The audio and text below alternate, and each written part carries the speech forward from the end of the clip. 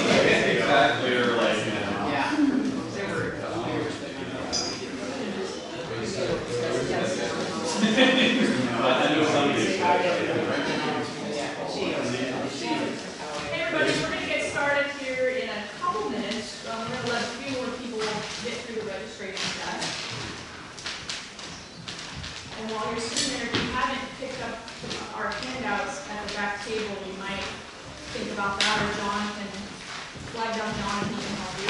Yeah. I'm John, by the way.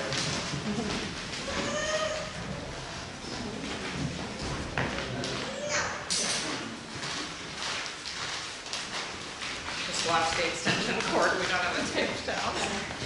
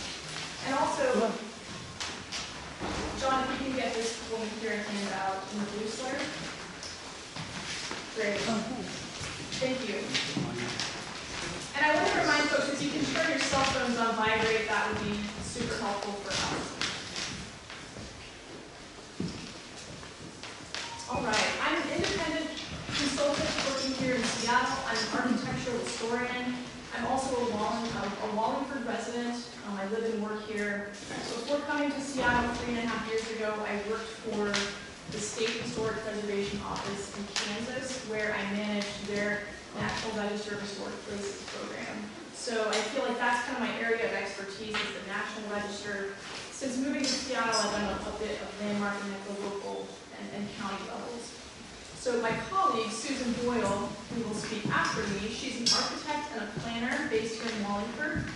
She brings really great experience, you guys, for this session. Um, she's a former member and chair of Seattle's Landmark Preservation Board, and she's past president of Seattle Architecture Foundation. And right now, she's an active member in the local chapter of DoCoMoMo. The you of DoCoMoMo? it's, it's, uh, it stands for the Documentation and Conservation of the Modern Movement, so mid-century uh, architecture. So we thank you for being here, Susan. How many of you live in Wallingford? I'm just curious. A good mix, a slight majority, okay. We're going to talk a little bit of specifics about Wallingford, but I think this applies generally to, to most parts of Seattle. You can move this along. So it's, it's no wonder I think people get confused about preservation um, it's intimidating. There's a lot of organizations and agencies that all have their hands in preservation. Um, so many groups, so many organizations. I think for me, the easiest way, I just moved here three and a half years ago, and it's like I gotta learn all of this over again. It's a start from scratch. And the best way to do that for me, I found, was to kind of divide those many groups into two camps. You've got your advocates and your sort of government agencies to government programs. Um, the advocates that we see here in Seattle, um, these should be familiar to most of you. Um, kind of broke it up here, local, regional, and national. And advocates are those that, that sort of influence decision makers. And this is just a, a quick sample, it's a, it's a broad sample, it's not everybody. But we've got the National Trust for Historic Preservation, the Washington Trust for Historic Preservation, and Historic Seattle are kind of the big three. Um, they're membership organizations, they're nonprofits, and then you have sort of, sort of local groups like Historic Wallingford. We try to kind of pattern ourselves almost after Historic Seattle. They're membership organizations, um, they're nonprofits, they're, they're focused on saving places. Now, I throw 4Culture in there to have people who are full 4Culture. It's sort of quasi-governmental, it's, it's at the King County level, they, they answer to King County. But they are so instrumental in funding, um, historic preservation, local history groups, um, through their grants. They advocate very much for preservation. So I threw them in on the advocacy side, but just know they kind of walk both sides of that line. And then probably, not many of you probably heard of Preservation Action, I just threw it in there, it's, a, it's kind of a national lobbying group, they work very much on the federal level for um, legislative reasons. So that's kind of a basic overview of what we see in the advocacy landscape here in Seattle. Go ahead and just go to the next one.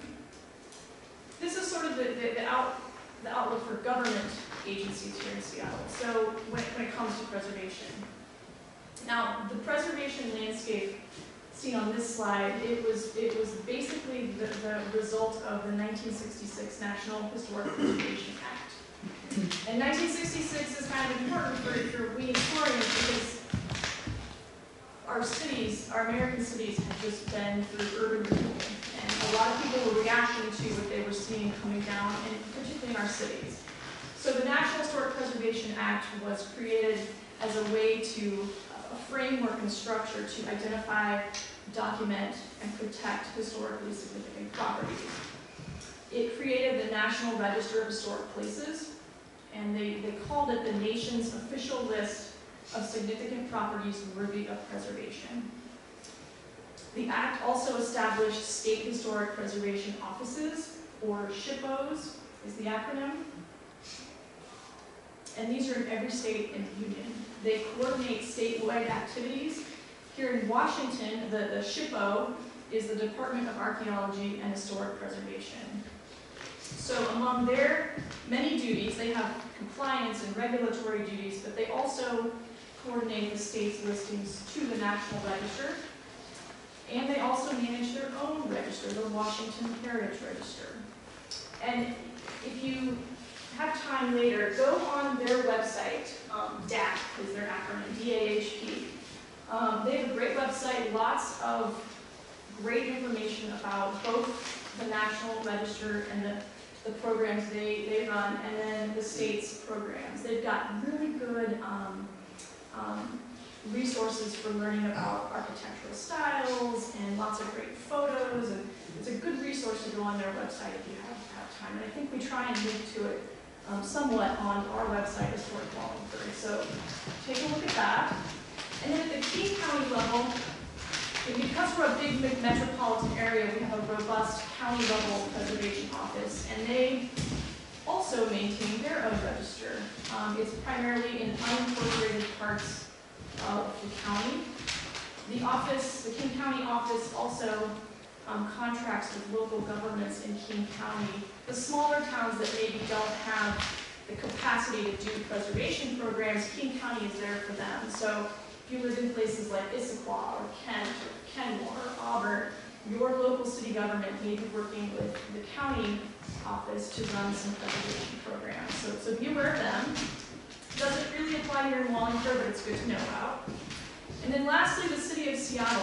They run a preservation program as well, and they manage their own designation process. Uh, to date, they have more than 460 historic places in Seattle landmarked, and there are eight historic districts designated at the local level. So when we say historic landmarks or designated landmarks, we're talking about those that are officially recognized in basically any of these landmark registers. They've been deemed historically significant to the community, the city, the state, the nation, whatever. So I think the takeaway when we look at this slide is, first of all, that every level of government has its own register. They maintain their own register. Um, and the important part, what may be included on one may not be included on the others. So when you're talking with somebody about a designated property, you may want to kind of quiz them and say, well, what, what designation? Because we'll go through a few designated landmarks here in Wallingford, but they could be on one or they could be on all of them. So a good question to kind of follow up with is, oh great, which, which register are you talking about? So that's, that's good background. Today, we're focusing primarily on the city's program, the register, and, and a little bit on the national register. Okay. Just some, some basics about the register. Now, thankfully, all of those registers are similar enough to one another, and they use similar criteria and similar standards, but, of course, there are variations. So it's good to know um, when you're interested in a particular register to kind of pin down some of the, some of the basics and, and about each one. Um, for instance, um, the National Register generally, and generally, because there's always exceptions, um, generally applies to properties at least 50 years old. Conversely, the local register brings that down to, to about 25 years. So there's some kind of little differences like that among the, the many programs. So it's always good to read up and study on each one. Now, each of these registers uses three sort of basic concepts when looking at eligibility for the registers. Um, historic significance, integrity, and context. We all kind of know what historic significance is, I think. It's, it's, it's important to the history. Let's look a little closer at integrity and context. Now, integrity is, is basically, I like to think of it as authenticity. Um, and that's evidenced by the survival of the physical materials. So, does it have that historic fabric that it was, was built with or constructed with? So think about the authenticity. Would somebody recognize that property today that lived and worked, walked by that property 50, 60 years ago? so integrity is about the physical authenticity. And then context um, should make sense. It's just putting that property in kind of a broader context. So if you're looking specifically at a house and then designating it, well, it didn't develop in a vacuum. You want to talk about the neighborhood context and perhaps the architectural context, who, who else, who was involved in building it and what else did they, they do. So context and integrity are something that may be new to people not familiar with registers, but important to think about when, when applying.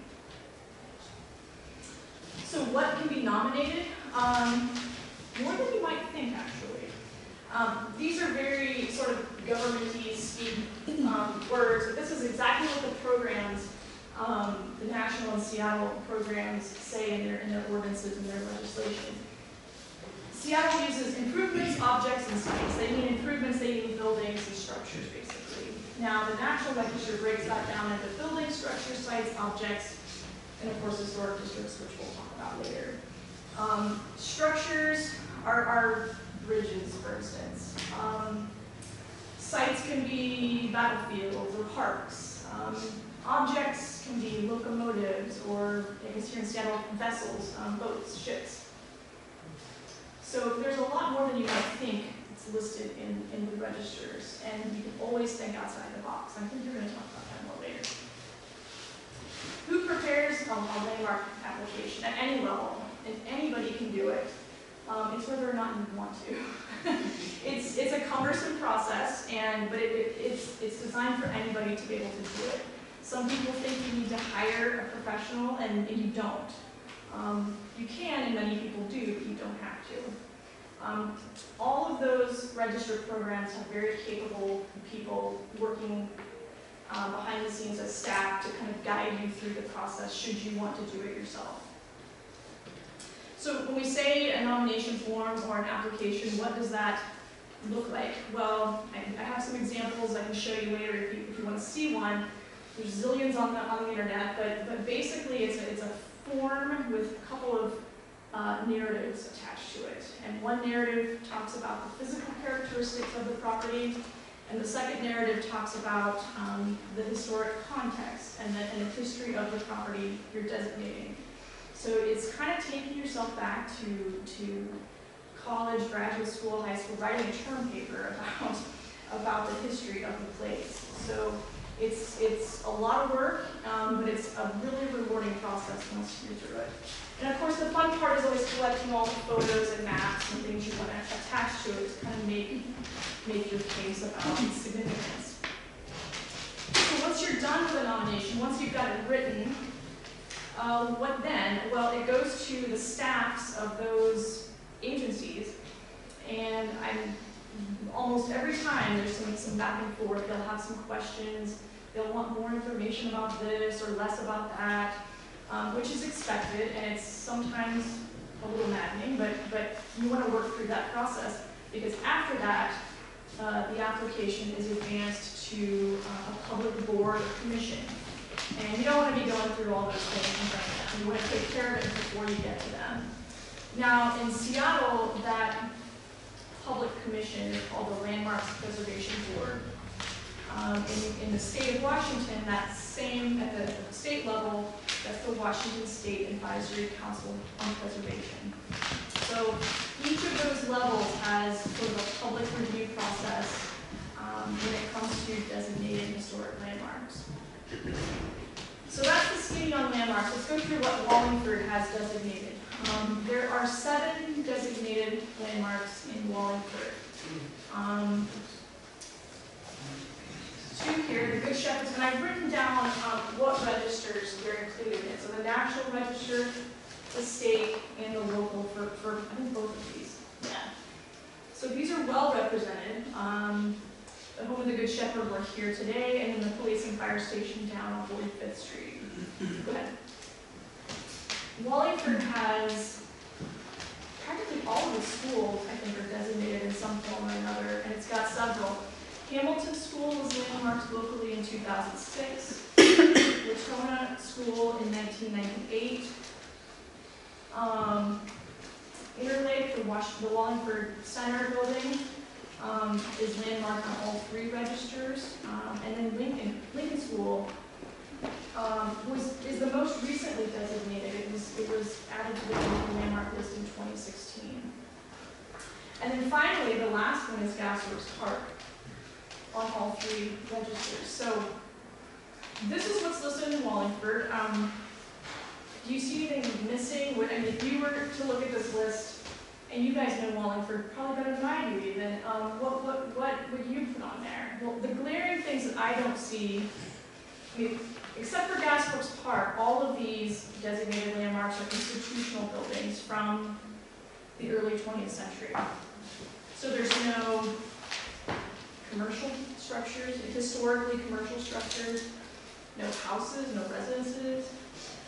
There's no religious buildings or churches, um, and of course, no, no districts of any kind. So, you know, is, is this representative of, of Wallingford history as you guys know it? Um, and that's just a rhetorical question, don't have to answer that. But, but I, I've kind of been thinking about that lately, like, gee, is, is this all we, we have to, that's important to us here in Wallingford? Let's see a little bit, go to the next one here.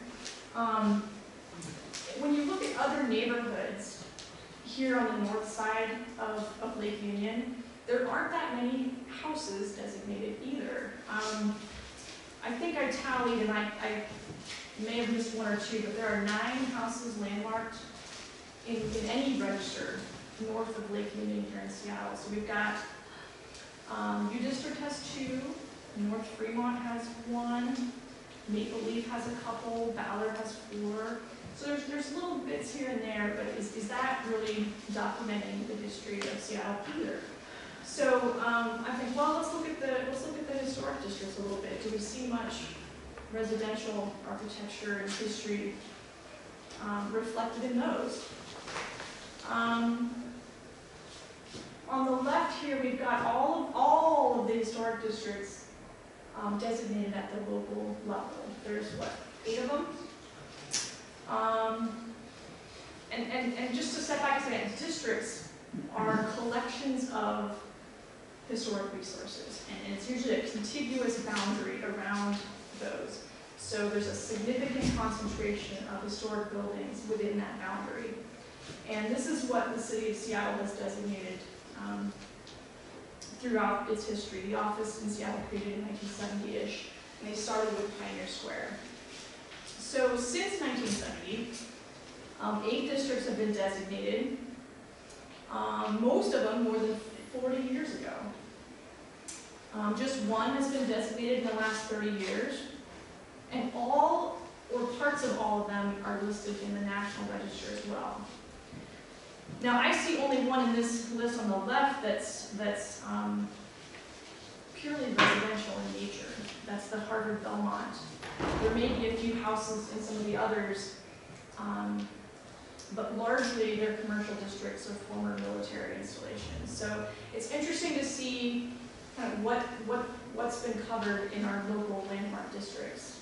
Um, when you go across to the National Register list, and this is just a, a quick sample, it's not all encompassing, but it was interesting to me, in the last, you know, ten years or so, um, there's been a real push at that level to, to landmark some residential neighborhoods. Um, Mount Baker and Ravenna Cowen Park are just this year listed, and what's interesting about those, especially Montlake, Mount Baker, and Ravenna, is hundreds of properties are included in those districts. They're enormous districts. And um, the last two in particular are efforts driven solely by the, the neighborhood themselves. So it's just interesting to kind of see the two side by side and to see what's been documented and what we consider historically significant in Seattle. So I, I want to kind of bring my remarks to a close. I want to go to my last slide. I just wanted to throw this up. I thought this was really interesting. Um, our, our current mayor, when she ran for, for office last, this is about a year ago? Yeah, a year ago, um, Historic Seattle always does kind of a Q&A with, uh, people running for office at the, at the local level. Um, they, they posed a bunch of questions to the mayoral candidates, and it was great to see Mayor, now Mayor Durkan, um, saying positive things about neighborhoods and about preservation. So I think as advocates, and I bet most of you are advocates, um, if you're here on a Saturday listening to me, you're probably an advocate, and I think we should perhaps hold her to her promises and um, see that we maybe designate a few more residences here in Seattle. So I want to turn things over to my colleague Susan. We'll go right into her program if you don't mind. Take a quick and save your questions for me at the end.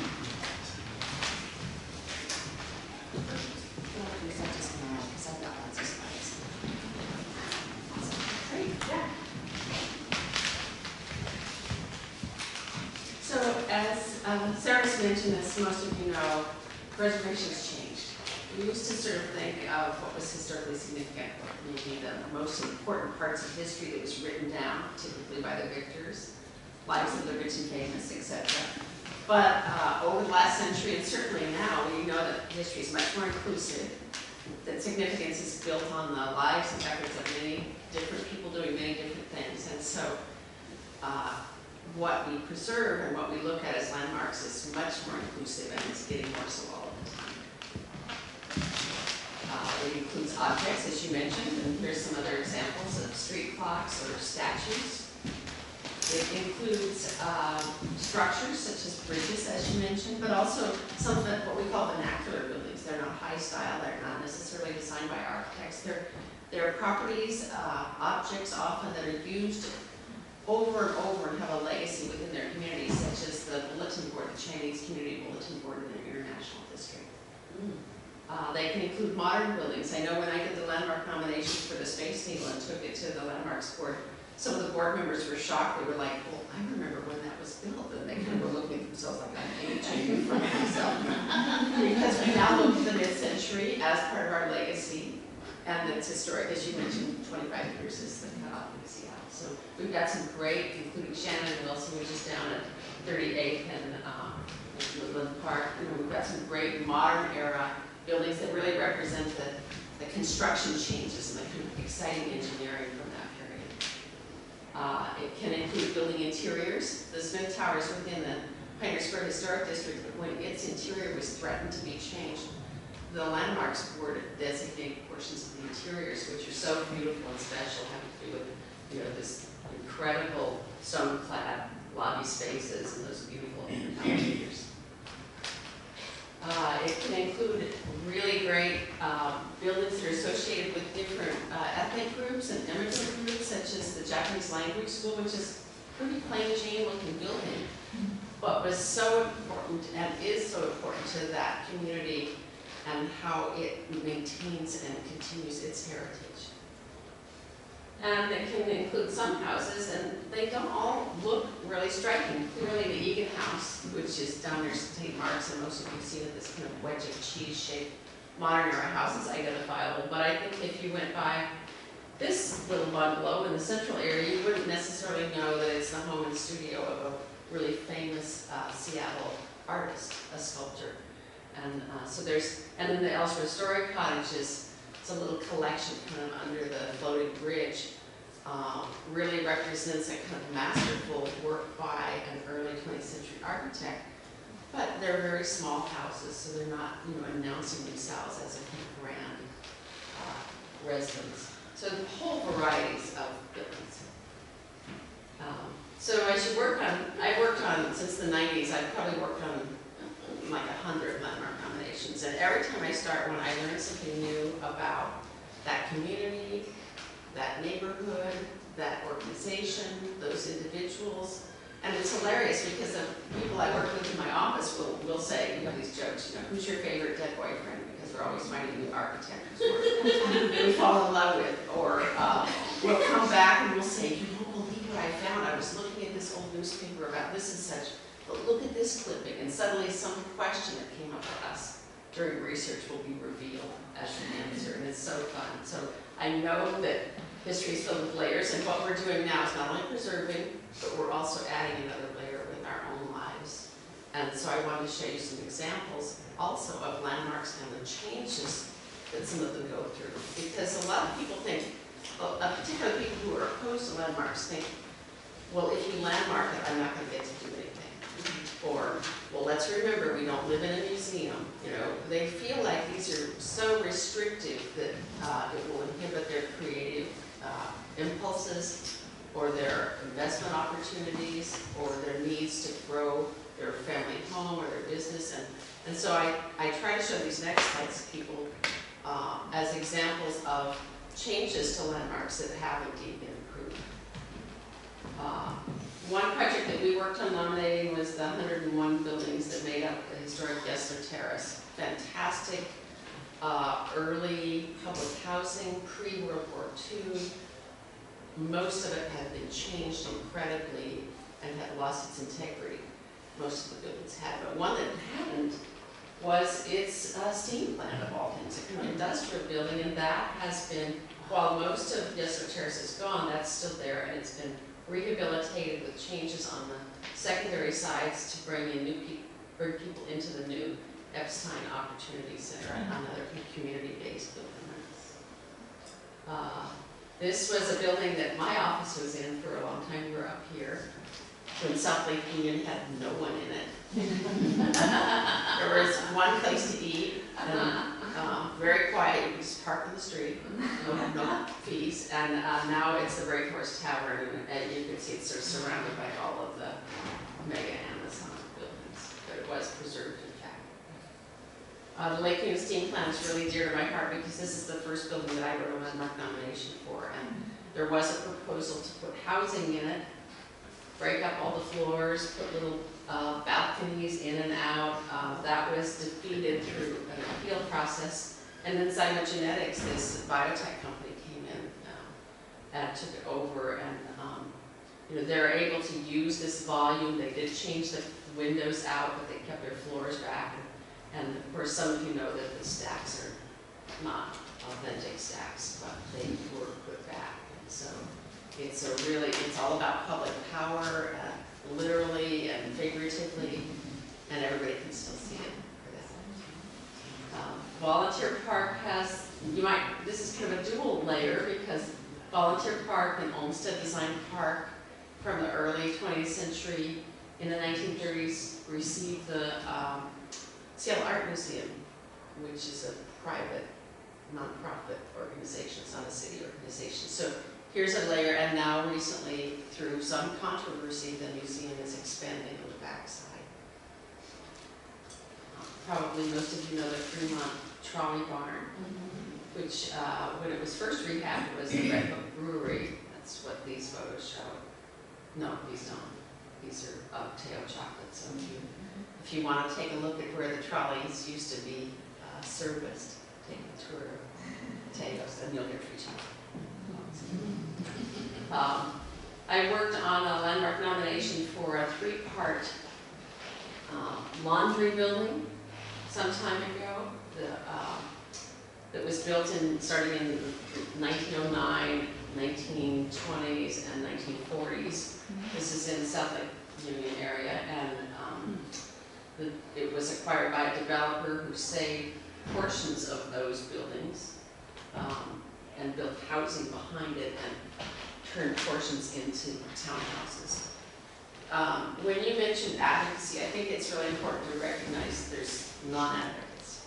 Not only the people who are suspicious of what will the restrictions be on me, but with our, with the development we see in Seattle, there's just so much money coming into the city, and people want to take and change things and maximize. And we see that all over the city, where if you knew what the zoning was, and you blew up a balloon within that envelope, that's what they want. And so, um, these, a lot of these newer changes, I think, do represent compromises to recognize what the city wants. The city's, through zoning, is saying we want to densify and make things more accommodating for more people. And the restraint that, uh, preservation puts on things. This is an apartment building on, uh, Queen Anne that received a penthouse quite a large penthouse, and then on the other side it received these uh, townhouses that were designed to meld with it. Um, You know, projects like these are really controversial, and they're not only controversial for community people, but they're controversial for the applicants and the, I mean, this project we worked on at my office as designers, and then we withdrew from because we just thought, we don't think this is the right thing to do. So there are all kinds of choices that go on in these things, and I think it's really important as we, we work on controversies, and this is certainly coming home to all of us, to recognize the, uh, the rightfulness of the, of the opposition, that they felt like they needed to make the return that they did by this increase in penthouse. But, it goes just one more second, but luckily, this beautiful apartment building uh, is well preserved and kind of represents Queen Anne Hill circa 1909. We see the additions to the public libraries, uh, the changes to those. The one in um, Fremont, that's another one my office worked on. It didn't receive that many changes, although there's accessibility changes to allow for access to the lower floor. And then some of the other buildings, such as the Douglass-Truth Library, the central area, received a new addition and the lower floor was expanded. And the new addition is, you know, it, it's carefully attached and reads as something new so as to not confuse people, but it's quite dramatic architecture. Uh, and here's another example of an addition to one of the city's modern era libraries. This is the, we're looking at the backside here of the Magnolia Library, this beautiful Paul Kirk design library in Magnolia, which if you haven't seen it, it's really my favorite. And the very, here's the interior of the historic library, and the very sensitive addition to expand the public room and make it accessible that's on the back of it. Both are quite beautiful. The uh, Cobb Building downtown was built uh, 1909 as a medical dental building. Had all kinds of great services, uh, shafts to bring in air throughout it. Had a, a roof terrace uh, for people recovering from small surgeries. And it was rehabilitated recently with pretty few changes to the exterior to, um, to become apartments uh, with commerce at the base. And um, here's another great example in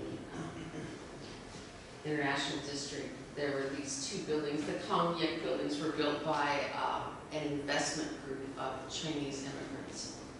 Um, I've been doing a lot of work in the ID, and I know that the reason we have this really great multi-ethnic neighborhood, it really represents exclusion.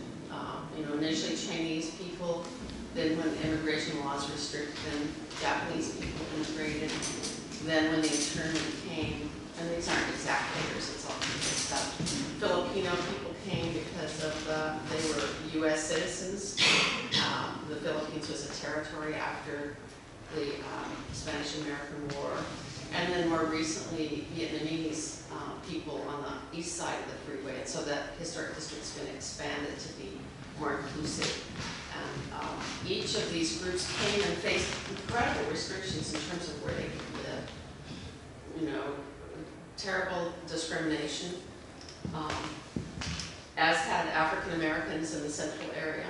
And But this was a neighborhood that represented uh, tolerance and acceptance of all groups. And so um, this investment group that couldn't purchase property elsewhere built these two buildings, one of which, the East Kong Yick Building, has uh, been incorporated to become the Wing Luke Museum. And it has, uh, if you get a chance to take a tour there, there's an apartment building upstairs in what was once uh, a a hotel that really gives you an authentic sense of what it was like to be an immigrant family living in the international district.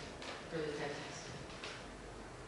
Uh, Other examples that you may know of, like the Good Shepherd Center with its chapel, include uh, Town Hall, which was, is uh, First Hill in former uh, Christian Science Church, and Washington Performance Hall that the uh, Historic Seattle um, took on as a project uh, that's become a performance hall. Uh, We see some buildings that really, this is a building, it's kind of a bad photo because it really doesn't show in the context of, it's right next to other buildings. So I worked on the nomination of this building and it was just a very simple efficiency apartment building that had this pretty art deco facade. That's really all it had going for it, was this beautiful art deco facade. It's downtown in Hollis. Uh, But it was rehabbed for uh, affordable, low-income housing, and one of the things that was inserted into it is the urban rest stop. Um, So it's an agency-owned building that uh, continues to serve uh, as a multifamily. Uh, We do have historic districts, and they represent, uh, you know, different specificity, but some of them receive new buildings. Um, Pioneer Square, really built right after the fire, looking to Chicago for the ideas of masonry buildings and replicating these, which are, which are called Richardsonian Romanesque style buildings. The liveliest place in the city. And, um, you know, it's gone through ups and downs of, uh, uh, despondent kind of economic conditions and different uses and revivals and, um, nightlife and the domes. Um, Very vibrant and uh, one example, I think it's kind of striking because it's so large, is the insertion of the new Weyerhaeuser building on a- what was called a non-contributing site. That was a parking lot site across from the um, Occidental Square. And so you see in these historic districts, you see buildings that are primary contributing buildings are really important. And then you do see all kinds of just buildings or parking lots that aren't contributing. And typically in historic district, those are the ones that can accept new, new development. And then, of course, we've got our own Home of the Good Shepherd. I love my work on this building with my former business partner Bob Wagner for like twelve phases, back starting too long ago. And I just love finding out about the history, because, you know, it was built as a, a place for bad girls. And then, um, I always say that in the seventies, we ran out of bad girls. So it's always, and it's these wonderful, I mean, when I started working at it, it was uh, artist studios upstairs, and the artists had taken over all kinds of things, and Chuck Greening had done that great stonework at the corner, and there were chase lounges made out of soil and grass around the filled pool, but, so it's gone through lots of changes as Historic Seattle gained the funds to go up and finish all of the rehab.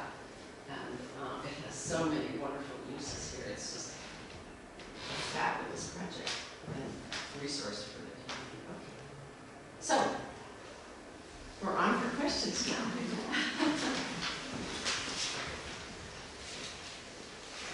Yeah, You know anything about Beaux-Arts? well, I know the Beaux-Arts style is kind of a neoclassical style that was popular um, throughout the US. Um, Out in the village?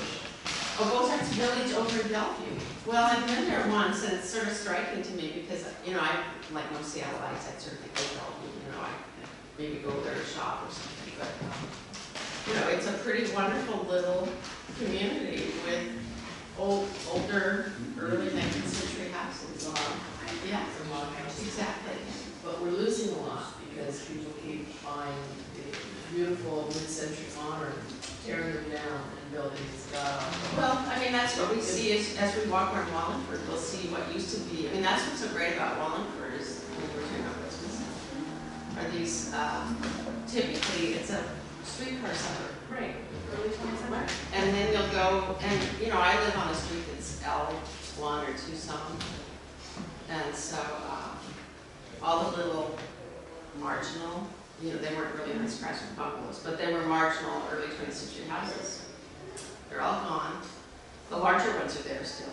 They've been replaced with townhouses. So we, we see that. And that's one of the things I think you might want to talk about. In terms of historic districts. Yeah, how do you say the name? So, would To continue that, would you talk about the oh. status of when, of Wallingford as a potential historic district and what's left to save and where it is in process? Oh, maybe we can talk together about that. I mean, if you look at Wallingford, so the gasworks plant was sort of the early major industry here. And Wallingford was an industrial area at the south end. A lot of the houses that developed were, were for working class, small houses for, for people who worked close by in those, those shipyard industries and, and the gasworks plant. So the streetcar then developed up north and up clear to, to Green Lake. And so along those spines through the neighborhood, we, we can see kind of a, a story develop. And, you know, those are the areas we might want to look at if, if, if there ever becomes um, an effort to landmark. Look, look along, start there, look along the, the streetcar lines and pick out the little commercial building that developed along it. And, um, So, a brief announcement, whoever owns the Chevy Volt Silver C three five four seven two G, it needs to be moved. Um, Is that you, sir? So, um, in terms of districts, the city does have these eight districts, and as you mentioned, three or four of them were community-based and they're in residential areas. And, uh, they tend to be in residential areas that are very cohesive, really all the buildings are like this, you know, houses, houses from this era. Organized maybe around a park, such as in Roanoke Park or Mount Baker. Mount Baker was a, their, their neighborhood is a planned development. All of the plats are, are a pre-drawn plat and then developed. Right, Here it's very organic and Yeah. developed, it pockmarked, you And that's why in Wallingford, you see like streets widths are different. Some, sometimes there's streets that are Yeah. angled, like I live down in Ashworth, and as you turn onto it, it's kind of, there's sort of a wider part and then it straightens out, and there's little Dorothy Place, and there's a little car place, and, you know, these are little plots that a developer might buy a bunch and plot it out. This guy wants to make big lots and sell them more expensively, this guy makes little lots. I mean, it's kind of great, because it's a very interesting Yeah, it's, it's organic, and if you look at, um, the, the plat maps from the, from the early nineteen hundreds, it's, it's all over the map, they just developed as little parcels, you know, 10, 15 lots, maybe a little bigger, and, um, it's not like your, your Ravenna or your, or your Mount Baker, so in that, in that sense, it's a little different, but. And it's a um, little more difficult too, because I think the theme then, I mean, you can't say the historic theme includes all layers. It's just not gonna carry enough weight for people to understand. So if you are interested in the district, I mean, my advice is, uh, you have to gain the support of the people who own these properties. And that's hard, because a lot of people might want preservation or think, well, I'll preserve my home, but I don't need the government telling me what to do. Um, you know, that's why we don't have a lot of districts. And there's no magic number. I used to think that you had to have at least sixty percent of the property owners sign on, but I know now that if you have one or two property owners who are powerful and oppositional, they can upend the whole thing. And so, if you're interested in a district, I would urge you to look at the area of of Wallingford that is the most cohesive, that has more of the dwellings, for instance, that have been preserved, and you can just tell by walking down the street, these people love their houses, and, and they, they don't mind the restraint of keeping an older bungalow that may not have a second story, um, view roof deck, you know? Um, and work to see if the values that appear to be represented can be represented. And the thing about districts is, districts come with their own guidelines that are specific. They could be prepared that the design reviews that go on are only about the fronts of the buildings, or what can be seen from the street. They, they can be um, as descriptive and as restrictive as the people preparing the district nomination want. And would you say, so those residential districts that have been listed in the National Register recently, perhaps they are moving toward the National Register because there are less restrictions? Right. And I think that's, that's telling in that Right. list, is we're not seeing a lot of that activity on the Seattle side because of those design guidelines and, and potential restrictions. Right. Whereas on the National Register side, it's, it's purely honorific at this point. Well, So- and it does protect a neighborhood from, uh, if there's federal actions or projects like a freeway expansion, right? It, it will be forced to avoid impacting that historic district or that National Register property. But the downside of the National Register, people think it's just so great, they've spent all this time working to get this, and then it can be torn down the next day. You know, so it's, it's, it's at a different level. In some ways, it's uh, harder to get on and more difficult and offers some really strong restrictions, but in other ways, if you really want to preserve things, Seattle landmarks. I mean, it's a very strong regulation. Um, It, it involves design reviews by the landmarks board of proposed changes. If someone says, but I need to tear it down and they haven't really thought it through, the landmarks board will force them to demonstrate that they've looked at alternatives. Um, and they do this with a real professional scrutiny so that it's a really powerful, um, vehicle to maintain things. Do you know if anything's being done about the movie theaters on Forty-Fifth? The movie theaters here, On Forty-Fifth? I don't know if there is, and I haven't seen anything, you know, we have neighborhood uh, blogs and, you know, the people focus on, there were uh, downtown theaters that were identified and saved in a big effort after the music hall was demolished. There's all this focus now on the showboat. So the Paramount isn't even on the list. It's probably National Register. I'm not sure it's. She's asking about the the 45th Street. I know, right? but Yeah. you just said No. downtown, Right. Paramount was a huge Yeah. effort. Right. And that Yeah.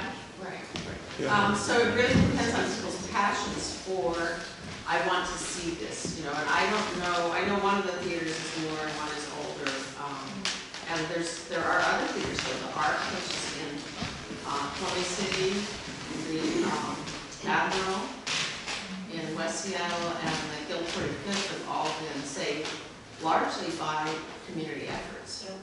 So I was gonna ask the same, actually the very same question. Even though we're Connection, not, I said, I meant to say, not Guilford. sorry. Even though we're not owners, are we able to, as a group, apply for designation for those two? Even as an individual, you can do it.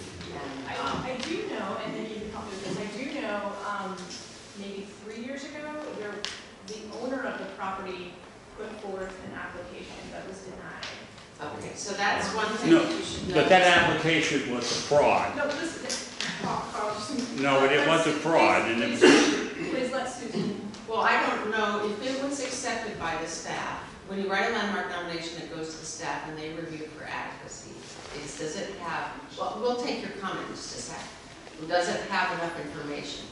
And if it does, then it goes before the landmarks board. And it can be brought up by anyone. And I work with nonprofits, individuals, government agencies, and I work with developers. And quite a few of them want to find out, and this is what I advise them. If you don't know, then submit this nomination and allow the board to review it and decide. And a lot of people think that you have to be pure of heart to do a nomination and be advocating for it. What they're advocating for is a decision, is to have the status resolved. And so, um, you know, I don't know anything about the nomination of, of. Maybe you want to comment? Well, I have a, I have a copy of it somewhere in my Yeah. files, and I talked to both the people who did it and the landmarks people. And it was put in with all, with the intention of getting turned down, so they wouldn't have to worry about it. It was not put in as the intention of getting landmarks. Right, well, that's what I mean is, but the, the landmarks ordinance says that the board is to consider the integrity Right, right. and look at six different criteria having to do with association, significant association with a, an important person, with a significant event, uh, architectural features that are representative of a style or period of construction, the work of a masterful uh, architect, designer, builder, um, I'm gonna miss one. The, um, historic associations, and that's a more general one, it says it has to be significantly associated with a significant aspect of the, um, I'm sorry, I'm quoting exactly right. I think it says, uh, community, city, state, or nation's economic, social, or political heritage. And then the next, the last one is a physical landmark that is identifiable by its scale differentiation. You know, it might be like, you wanna get to my house, go to the big church tower, turn left, and somebody you can see. So the board is a quasi judicial board. It can't talk to individuals outside about these issues. It's not advisory, so it's a really strong board. So I think uh, um, that they're always being watched by the city attorney. I think for the most part, they largely look at those criteria and judge it. And And I Well, it was turned down, one of the reasons it was turned down was because of modification to the interior. The modifications interior were made for handicapped access. And so there was a number of things, and I, I also have a, a person that we actually work with sometimes who is a, um, who is a, a preservationist, but he's not a professional like you all. He said it happens every day, that people are submitting these things with professional support with the intention of them failing, so they can Well, develop the and- building. And it's heartbreaking when you take something to the board and see them not act on it, or, uh, when you go, it's a public forum, you'll present your information and then the public speaks, and some people, the public, will say things that you know aren't true, but your time is up, or the board members will see something differently than you do, and it's, I, I mean, I, I know the pathos of, Yeah, exactly.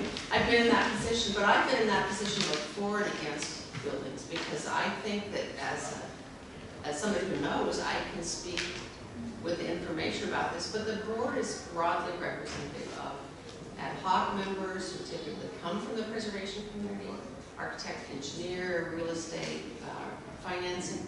In fact, they have openings for Mhm, Three, I think. three Yeah. Board members they're interested, you know, and they do take public testimony. I mean, there's Leanne Olson from the Queen Anne Historical Society, who's just recognized by Historic Seattle. She goes to every single meeting that involves Queen Anne, and she's, she's articulate and knowledgeable community member. She speaks up, both for and against things. You know, she'll tell them what she thinks and knows, and that kind of input, I think is really important. I want to get back to your question though. Um, Any of us today could put in an application to the National Register for the theater building. Nothing's stopping anybody from doing, Right. from doing that, so. But again, the staff at the DHP, at DAP will review it to Right. determine whether they can support it. Right, exactly. Um, and then, once something, if it goes through the local landmark process and is denied, that puts it on hold for five years. And during that period, they can't consider it again, but there have been for instance, back in the mm, eighties, I think it was, a lot of schools went through, and, uh, one of them was Franklin High School, and at that point, the board said, it's changed too much, just like you're talking about, changes to the building for all kinds of good reasons sake. When I was on the board, we, the philosophy had changed about it, and we went and looked at that school, uh, brought in by the community, uh, who wrote the uh, revised nomination, and we, when I was on the board, determined it was eligible. A period change, philosophy had changed, the understanding of what's important uh, had changed. So it's discouraging, it's very discouraging when you work and feel one way or the other about something to see uh, public discussion not agree. Anybody who goes to any of these boards will I have one more question. Could a facade, um, the facade? Not just the facade only, but for instance, remember I showed that um, Art Deco apartment building, in El Rio, and mentioned that it didn't really, in my view, have a lot going for it other than that. But it's a beautiful facade, it's a, the facade clearly represents uh, an apartment building, with lots of small units in it, which it was efficiency units. So uh, if it was a facade of something that was completely different on the inside, it might be more difficult. But What about the typically- Wallingford bungalow? What, what do you think about the Wallingford bungalow at the community house? On which one? The Wallingford bungalow, the Wallingford As bungalow. a type, as a building? Well, as an area like the Pasadena, Yeah. what, what about that? Why Because when you talked about it earlier, I believe Sarah talked about it, was, was sort of cherry picking the big houses along the, uh, Like Burke, the, the, the, no, along the, uh, trolley line. But the, but I would really like to see us work on the whole business Yeah. of, I of a think so too. major effort to get, Yeah. just like, and we're gonna show the, uh, Well, Tom Heath is gonna talk about that, and I really think that that's what, when I think of Wallingford, I think bungalow. And you think, you know, the significance may not be in just one bungalow, but it's the collection that makes it so Exactly, important. yeah. So I think that's, that's what the historic district were made for. Yeah, and I think as a, as a way to, um, you know, I think districts typically have, uh, less burdensome restrictions, because they're trying to save the whole collection. It's, uh, and the, um, the significance of each individual building, as you were saying. Right. It doesn't have to hold everything up, know. Um, but that's what I think is so great, and Tom is gonna talk about his survey next and, and all the discoveries that he made about that. But I think that's really the way to go for Wallingford's residential area. Yeah, and uh, we're gonna show the Pasadena bungalow area. And we'd like to have some of you experts come and talk.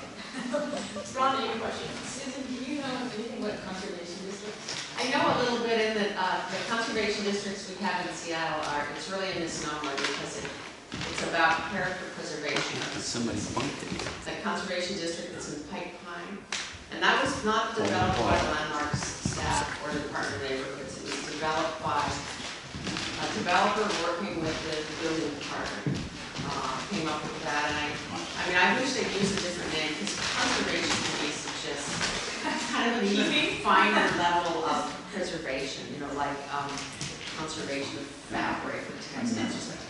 you know, restoration of a painting, and to me, that's really, uh, kind of the wrong way to go, because they're very interested in keeping the pedestrian level of a lot of these auto row buildings, and then above it is like creativity unleashed, and it's a very vibrant district. Uh, I think it's, uh, I'm working on a nomination of a Knights of Columbus building, and I walked around the corner and I saw it. I saw this group of developers, and they're all, they're dressed, and, and one of them saying, well, you know, this is kind of neat, you know, this, uh, you can really see the flavor of the district or the area something. They were talking about these brick facades that were saved, above which was every bright cladding material that you could see. And it is fun to go there and shop and go to theaters and drink and, um, Did it, in like Wallingford, I mean, is there anything that can establish just some design criteria so as new buildings are built, that that it fits in? Well, what fits in, there's the critical phrase. I mean, there are design guidelines that are they're not design guidelines, they're imbued in the zoning code, and you go through design review groups that are struggling to try to make things fit in. But the, really, the way to go is through the landmark process of the district, because conservation districts, they allow, uh, the design review group to do trade-offs with the developers, but, but we'll support your higher thing if you'll save these entries. It's a, it's can be very uneven in my mind, and, uh, and also the process, I think, is a little less public, so I don't think it gains. Probably depending on the, the players involved Exactly. too, yeah, yeah. So, um, I just don't think it really is adequate, and in, if you're interested in it, I would urge you again to look at making a district and crafting the rules so that they were appropriate to what was important, and at the same time acknowledging, you know, what people do in their backyards, you can infill with little cottage houses, you can build taller, bigger, screened by trees, I mean, that there's lots of ways to save and uh, expand. Has you heard any discussion about um, preserving mid-century modern in View Ridge at the corner of 35th Avenue Northeast and 67th, which is the Northeast Library? Well, the Northeast Library, where the Four landmark. buildings in Yeah, that corner Right. are all Yeah. spectacular examples. Exactly, it's fantastic. The Theodora Right, facade was just preserved. right, and the Docomomo group that I'm involved with uh, helped um, sponsor that nomination to save the Theodora. And as you said, there's that fantastic library, which is, the library sponsored that nomination. And the church. Now, the church, because of uh, church and state issues, uh, churches have to nominate themselves. No one can nominate a church because of the restrictions on, on contingent on liturgy. But, churches being preserved but as far as this, the chapel right. part. They recognize that in their master plan, how important that beautiful mid-century chapel is. And so if anybody wants to go get a quick tour of the best of Seattle's mid-century, just go to that corner and turn slowly. It's just, it's corner 35th and 67th. But there's no There's recognition as a, a, this, this is, this district. Right, and there, mid-century there modern. could be, because a lot, houses exactly, it. there could be, but I think it's going to take the community. All right, thank you so much. And we'll, I'll, I'll, I know I will be around most of today. If you have any follow-up